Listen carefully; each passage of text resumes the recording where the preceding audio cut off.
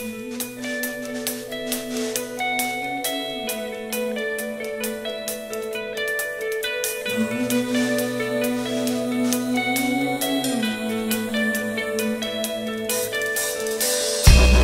waking up to ash and dust.